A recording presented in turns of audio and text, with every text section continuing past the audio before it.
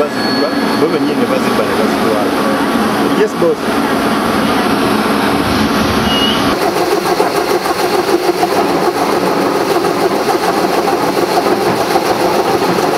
matumbo engalo tebatuwa giravusi n'ebigere bituluma tebatuwa amazzi gatwokya ebimere tebatuwa giravusi